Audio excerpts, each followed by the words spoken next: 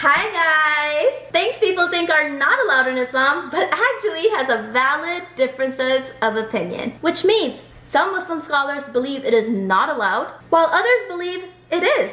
And they're both correct. Number one, eating cheese with animal enzymes such as Cheeto Puffs. Number two, covering your feet during prayer. Number three, considering woman's voice as awrah. Number four, taking pictures or making videos. Number five, eating certain seafoods such as lobster, crabs, or shrimps.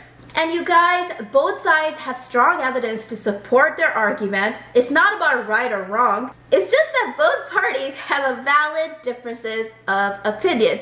Hope that makes sense. Okay, bye.